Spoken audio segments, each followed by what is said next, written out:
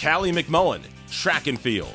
McMullen won three Patriot League outdoor track and field individual championships while setting three Army program records. For the second straight year, McMullen was named Patriot League Women's Outdoor Track Athlete of the Meet and also broke the program record in the 60 and 200 meter dashes at the Indoor Championship.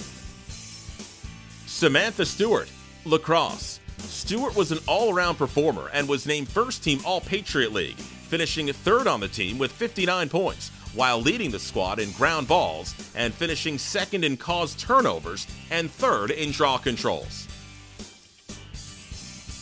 Samantha Sullivan, rugby. Sullivan was named an NIRA 15s All American for the second straight year, leading the Black Knights in both tries and total points during the 15 season, and also led Army in both categories during the Spring Sevens campaign.